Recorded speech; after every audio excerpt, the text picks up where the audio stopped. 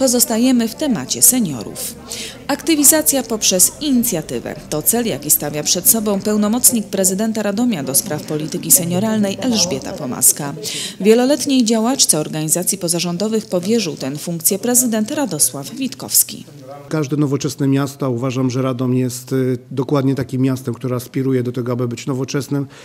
Nie powinien myśleć, miasto nie może myśleć tylko o wielkich y, obiektach, nie wiem, sportowych, inżynieryjnych czy czy, czy, czy, czy też y, komunalnych, ale również musi mieć y, takie nowoczesne miasto bardzo dobrą politykę e, senioralną i to właśnie radomskim seniorom zaproponowałem kilka miesięcy temu.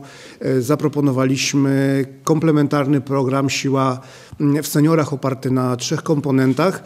E, Ten program był konsultowany i został bardzo dobrze przyjęty przez y, Radomian. W ramach programu Siła w Seniorach już we wrześniu ruszy Centrum Aktywności Seniorów.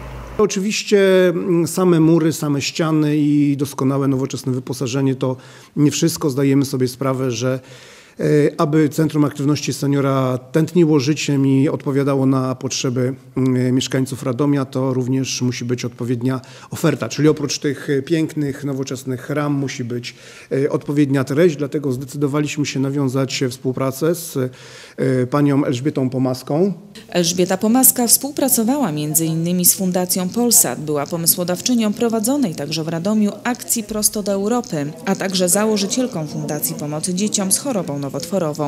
Jest wiceprezesem Międzynarodowej Organizacji Innowatorów Społecznych Ashoka Polska oraz ekspertką Fundacji Porozumienie Bez Barier, która realizuje program Oswajanie Starości. Elżbieta Pomaska zapowiada, że będzie chciała realizować w Radomiu projekty odwołujące się do aktywności samych seniorów.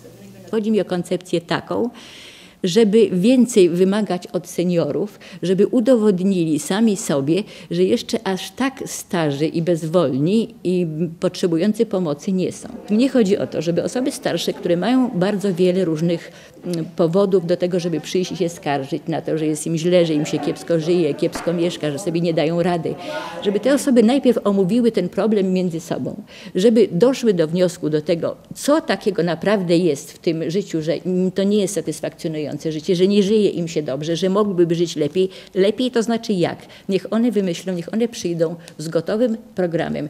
Tego i tego nam brakuje w Radomiu. Chcielibyśmy, żeby to było tak i tak. Elżbieta Pomaska zapowiada, że jako pełnomocnik prezydenta w pierwszej kolejności będzie chciała spotkać się z członkami działających w mieście klubów seniora. Chce też współpracować z opiekunami osób starszych i pracownikami socjalnymi.